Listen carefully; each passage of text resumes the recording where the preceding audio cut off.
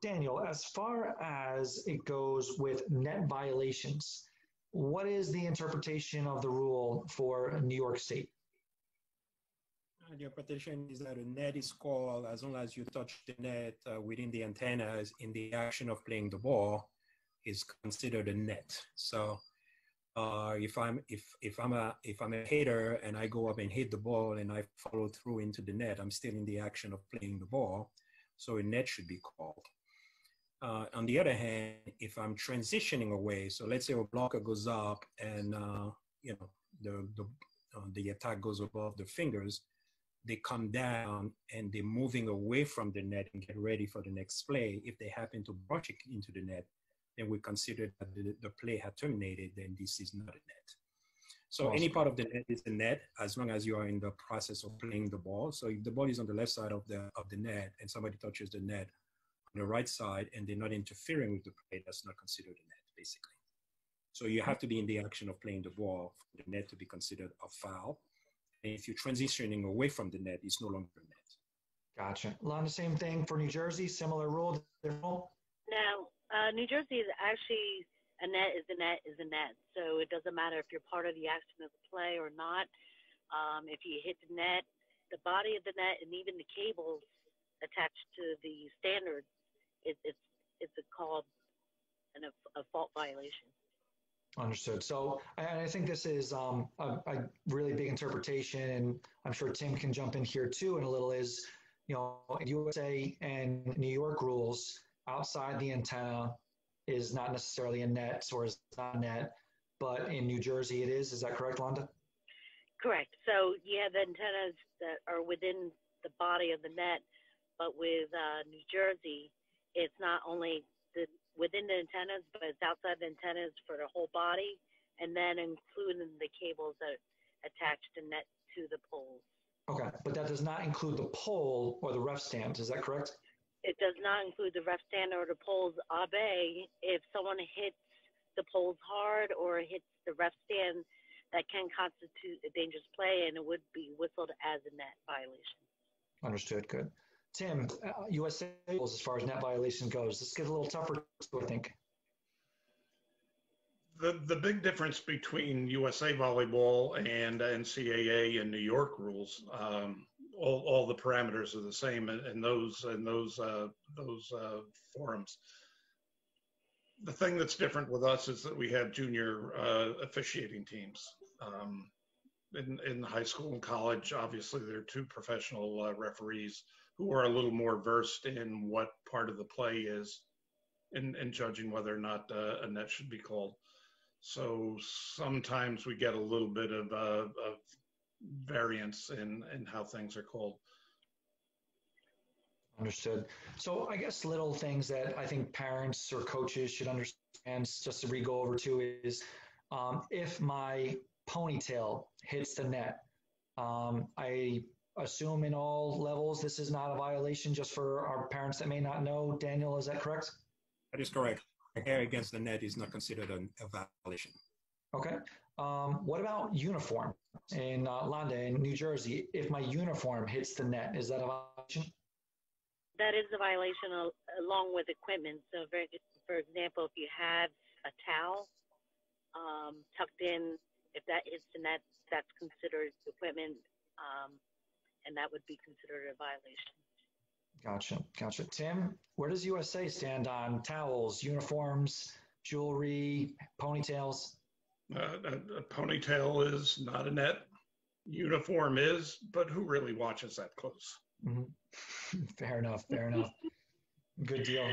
So, all right, no, thank you for that. I, I appreciate those interpretations uh, and those rule, um, uh, you know, rule definitions. So the next one is kind of, you know, also within the same realms of faults and fouls is the center line violation, um, which um, is kind of in that same group as we just said. So Londa, as far as the center line violation in New Jersey high school goes, um, can you tell us a little bit about that? Uh, with NFHS, if your foot is completely over the center line, it is called. Um, you can do what they call shadow, where part of your foot touches the um, opposite court, that's fine if you were able to step down and now part of your foot's on the line. So that, and that's what they call shadowing the line, the, the center line. Um, so with New Jersey, if there is a center line violation where your foot goes completely under and, and uh, no part of your foot's on the center line, it is a center line violation.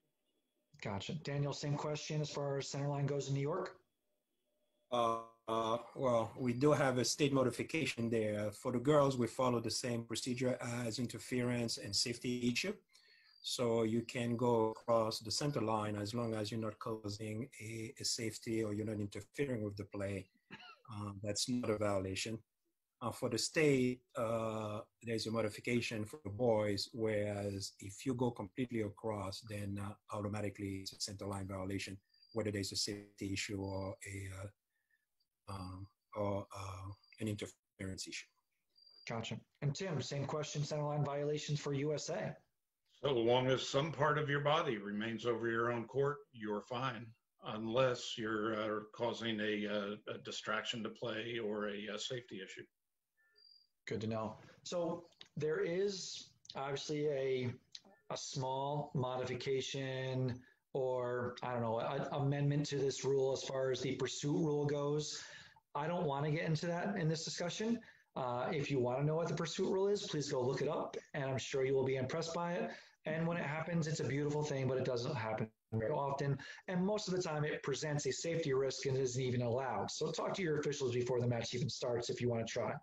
Um, with that said, uh, as far as centerline violations, the other part of this that I think I wanted to talk about was um, I just lost the train of my thought as far as centerline violations.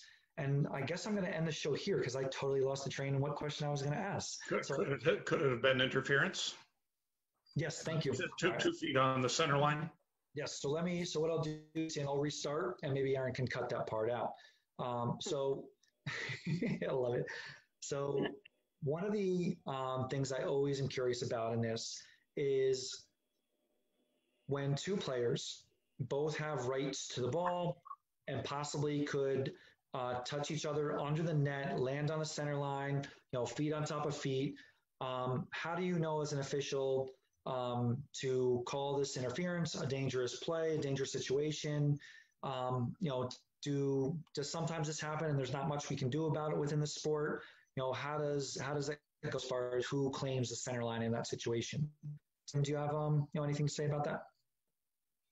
Well, the center line is a two-inch piece of tape or paint across the uh, the court under the net, and if a player is on the uh, on the center line, there is no no chance to interfere with the opponents two two players on opposite sides feet, both on uh, the uh, the center line, but not over. There's no interference. If some part of a player's foot is over, but still over the center line, that's not necessarily a fault. But if that action prevents the other side from being able to play a ball, then uh, then interference would be called.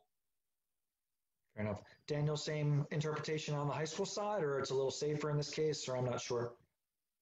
Yes, it, it is the same. They do share the center line. We're talking about girls now. Uh, they do share the center line. They both have rights to that center line as long as one is not interfering with the other in terms of going to play the ball. Uh, so if they land on each other, uh, it is okay. If somebody is trying to make the next play and you're preventing that from happening, then it becomes a center line violation. Okay. Lon, the same question. Any interpretations on, in the New Jersey side?